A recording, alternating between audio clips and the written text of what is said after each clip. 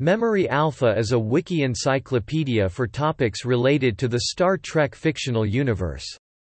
Conceived by Harry Doddema and Dan Carlson in September 2003 and officially launched on December 5 of that year, it uses the Wiki model and is hosted by Wikia, Inc. on the MediaWiki software.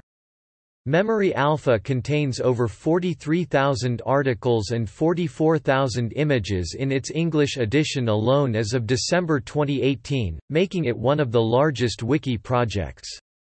The site is also available in several other languages, including Bulgarian, Catalan, Chinese, Czech, Dutch, Esperanto, French, German, Italian, Japanese, Polish, Portuguese, Russian, Serbian, Spanish, and Swedish.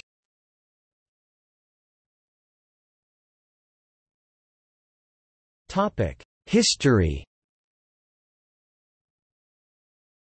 Memory Alpha aims to create a comprehensive database for all fans, but was not conceived as a wiki.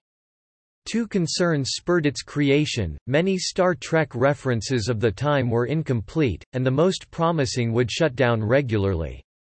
Doddema and Carlson christened their project Memory Alpha, after the Federation's largest information archive, from the original series episode, The Lights of Zetar.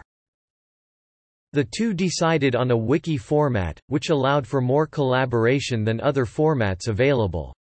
As Carlson said in the Charlotte Observer, "...the idea I latched onto with the wiki concept is you can spread the work around. Everyone can pitch in and go in on their own special interest." After experimenting with TikiWiki software, they switched to the MediaWiki platform, finding it less cumbersome. The platform of choice for Wikimedia Foundation projects proved to be, in their opinion, more stable and efficient, and they brought a test site online on November 11, 2003. Memory Alpha officially launched on December 5 that year. The site gained momentum in the following months, aided by a mention on the Star Trek fan site, TrekNation, on December 23. Memory Alpha reached 1,000 articles by January 12, 2004, but on March 23, the site's database was accidentally erased during an upgrade of the MediaWiki software. Although this caused six weeks of work to be lost, the project expanded to include Dutch and German versions on April 10 and May 14 respectively. It remained stable until the following year, when the fees associated with hosting the site became more than the founders could afford. In February 2005, Memory Alpha switched hosting servers and joined Wikia, a free-for-profit wiki hosting company started by Wikimedia Foundation board members Jimmy Wales and Angela Beesley. The site remained stable on Wikia, opening a Swedish site on May 5 and a French one on November 5. It also received several distinctions that year, such as the Ex Astris Excellentia Award from Ex Astris Scientia, a Star Trek reference site, in September 2005, and it was featured as the Sci-Fi Channel's Site of the Week for October 10, 2005. Star Trek, Voyager and Star Trek, Enterprise writer-producer Mike Sussman joined the community that year as well. Technical issues led the MediaWiki software to believe Memory Alpha was started on November 23, 2004, and despite the inaccuracy, this date was adopted ex post facto as Memory Alpha's birthday. The latter part of 2005 and early 2006 saw several new features added to the site. Among these was a peer review process, implemented on September 21, 2005 in response to questions about the process by which articles become featured. On November 20 of that year, Memory Alpha began a Babbel program, inspired by and modeled after that of the Wikimedia Commons, to help users who speak the same language. Other recent innovations include an area for user projects, sometimes referred to as wiki projects on other wikis, and coverage of fan films. The site has remained popular since its inception, although its growth has slowed in recent times. For instance, it was the largest project on Wikia until October 2005, when its article count was surpassed by Wikipedia and Uncyclopedia. Today, it has approximately 1,300 registered users 80 of whom are active and upwards of 17 million page views since its move to Wikia. As of February 2006, it receives on average, slightly more visitors and page views per day than the official Star Trek website according to Alexa. Memory Alpha has influenced the design of other wikicities dedicated to information about television franchises, including the X-Files Wiki 1 and the 24 Wiki 2. It is a resource used by mainstream journalists for information on Star Trek-related issues. Influential edublogger Will Richardson hailed the site in his 2006 book Blogs, Wikis, Podcasts, and other powerful web tools for classrooms as one of the most impressive wikis out there. On June 12, 2007, Memory Alpha reached a milestone of 25,000 articles with the creation of the article Robert Iscoe. Entertainment Weekly named Memory Alpha one of the 25 essential fansites in 2007. In comparing it to other Star Trek sites, the reviewer wrote, Memory Alpha wins out for its handsome, intuitive presentation and its overwhelming mass. It was revealed in April 2016 that actor and writer for Star Trek Beyond, Simon Pegg, used Memory Alpha as a canon resource in writing of the film, even asking the community's leaders to name and give etymology for a device in the film.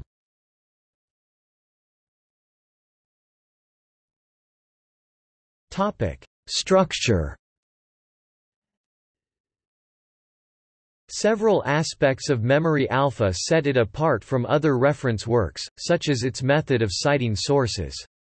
All information must be cited from a valid source see canon section below, but rather than a «works cited» or «references» list. Memory Alpha prefers standalone inline citations, which are placed in parentheses after the sentence or section in question. For television episodes, this consists of an abbreviation for the series from which the information came e.g. DS9 for Star Trek, Deep Space Nine, followed by the name of the episode in double quotation marks.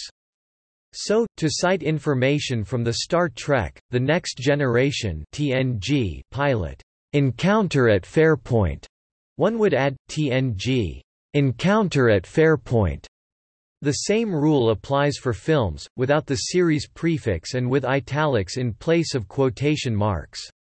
The same method of notation is also used in the printed Star Trek Encyclopedia, which is unrelated to the Memory Alpha wiki.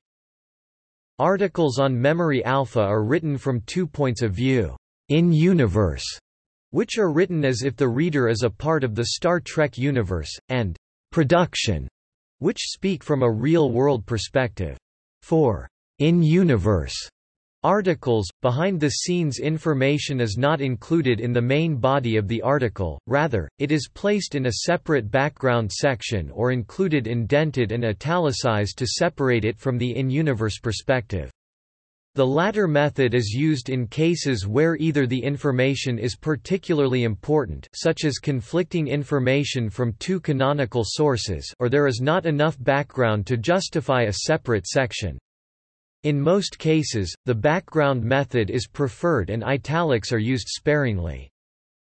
Like many wikis, Memory Alpha has a section for featured articles, those believed to represent the best the community has to offer. The criteria for this distinction are that an article must be well written, comprehensive which includes citing sources, accurate and undisputed, criteria any article could hypothetically fulfill.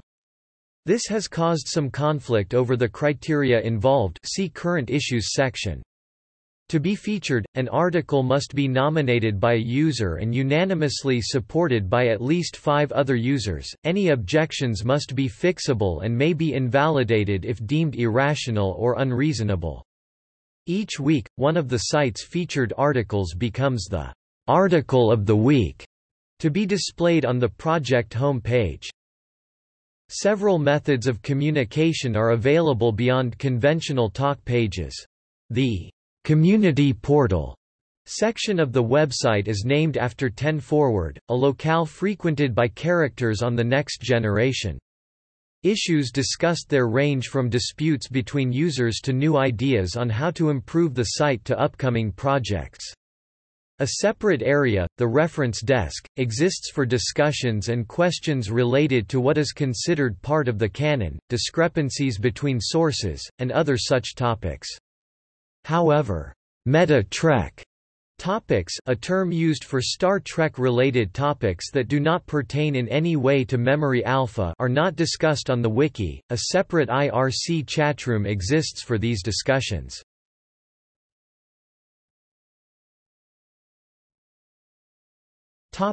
Canon policy. The question of canonicity is a complex one and has plagued fans since Star Trek began in 1966. The general policy of Paramount Pictures is that anything outside live-action television episodes and movies is apocryphal, or non-canonical. However, gray areas in this policy, especially in relation to the canonical status of Star Trek, the animated series TAS, further complicate the matter and have led to many debates among fans. In light of this, Memory Alpha crafted its own unique definition of canon in relation to what may be used as a valid resource the animated series is included as valid, or canonical, for a number of reasons, such as the fact that Star Trek creator Gene Roddenberry and most of the cast of the original series were involved with it and the existence of several references to TAS events in later series. Information taken from the Star Trek Encyclopedia and Star Trek chronology is mostly accepted on Memory Alpha as well, to the extent that it does not break from established on-screen facts. Content from these sources is an acknowledged gray area of Memory Alpha's canon policy and is disregarded if deemed speculative or contradictory. Thus, in some ways they hold the same weight as novels and other publications do for Star Wars canon, a second tier of canonicity, which is subservient to primary on-screen sources. Other sources such as books and computer games are not included as canonical, but are covered by Memory Alpha in a way which sets it apart from other Trek resources. Books, comics, and other products are included as articles about the products i.e. from a production point of view, but in-universe Information unique or new to them is covered on the product page. For example, in the Star Trek, New Frontier line of books, a new host of characters is introduced to the Trek universe, and their vessel is known as the USS Excalibur. The characters, ships and information from New Frontier books do not receive pages of their own, but they are covered on the pages about the books. In this way, memory alpha remains all-inclusive while attempting to distinguish the canon from apocryphal material. Non-canonical characters and topics are instead covered at Memory Beta, and fan films and other fan-created material at Star Trek Expanded Universe, both are hosted by Wikia. The Star Trek Online Wiki, hosted by Curse, covers the Star Trek Online MMORPG.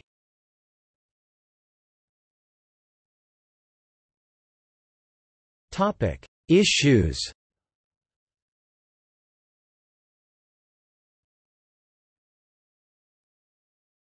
Topic: Organizational. Several issues face the Memory Alpha community, one of which is the question of which articles should be given featured status. Under Memory Alpha's current policies, both major and minor topics are eligible, however, the question has been raised of whether the criteria for featuring should be more subjective, i.e., if a topic is not significant enough, it should not be featured regardless of how comprehensive its article is. There is no consensus in the Memory Alpha community about the topic, although there has been no change in featuring policy. The question of what content Memory Alpha should cover has plagued the project since its creation. On the project's home page, it describes itself as a collaborative project to create the most definitive, accurate, and accessible encyclopedia and reference for everything related to Star Trek." But fans often have different interpretations of what "everything" Means. Sometimes, one or more users may add content about a subject, such as a website, fan club or parody, that does not fit existing pages, necessitating a community decision about whether to keep the content and, if so, what to do with it. Such incidents led to the creation of an article on Star Trek parodies after several questions were raised about where to put information related to, but not a part of, the Star Trek franchise. An example of the reverse case is, The Sunspots, a musical group consisting of Patrick Stewart, Jonathan Frakes, LeVar Burton and Michael Dorn. Although the actors involved were all prominent parts of Star Trek, The Next Generation, several articles on the group have been deleted because the community deemed the topic not directly related to the franchise.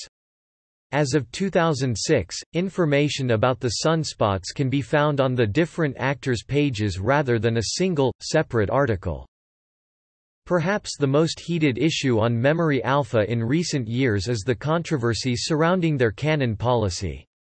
Aside from issues of length and excessive use of legalese, this policy has been put into question by several of the site's regular users because of its rule that articles and information which were not seen on-screen but were derived from official production sources are not considered canonical on Memory Alpha. The site's archivists are divided as to exactly whether such information should be allowed as canonical, some want only to allow what was seen on-screen while others wish to include that which was originally intended to be used on-screen but never made it, such as information from deleted scenes, early script drafts, etc. The latter archivists believe that such information can be included so long as it does not contradict what was seen on-screen and so long as it states where the source of the information comes from. As of July 2006, this debate has died down significantly, with most having accepted the terms of the new policy, despite early concern about how to incorporate information from the 2009 movie Star Trek, which is considered a semi-reboot of the original series. Memory Alpha members found a solution to the issue. All information from this film is recorded as separate articles, which are titled according to their subject with the term alternate reality included in the title. This is from the term used in the movie itself to describe the new continuity. For example, the article Nyota Uhura discusses the character as portrayed by Nichelle Nichols, while the article Nyota Uhura alternate reality discusses the character as played by Zoe Saldana.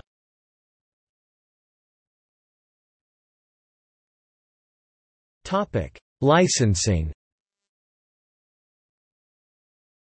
The contents of Memory Alpha are licensed under the Creative Commons Attribution Non-Commercial license. Because this license does not allow commercial reuse, it is incompatible with the GNU Free Documentation License (GFDL) and with the Creative Commons Attribution Sharealike license CC by SA, and material from the site cannot be copied into projects that use the GFDL or CC by SA. This distinction makes Memory Alpha a sister project of the primarily CC by SA based formerly GFDL based Wikia project. Memory Alpha is cited as a source by academic journals, scholarly studies and books as well as Star Trek universe novels and reference works.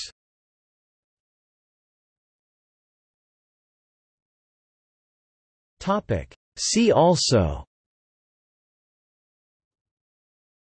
List of online encyclopedias.